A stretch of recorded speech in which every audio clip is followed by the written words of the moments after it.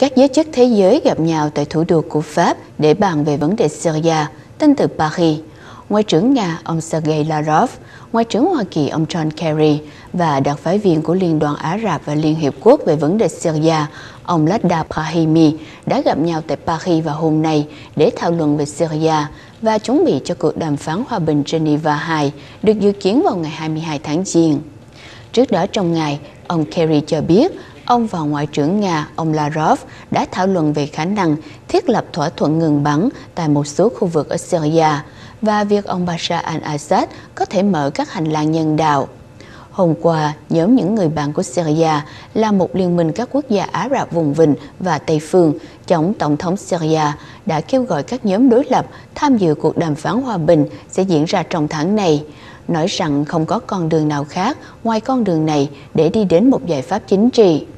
Với chỉ còn 9 ngày là đến ngày đàm phán trực tiếp đầu tiên giữa phe đối lập Syria và chính phủ của Tổng thống Bashar al-Assad ở Thụy Sĩ, nhưng các nước Tây phương đang gặp nhiều khó khăn để thống nhất các nhóm nổi dậy.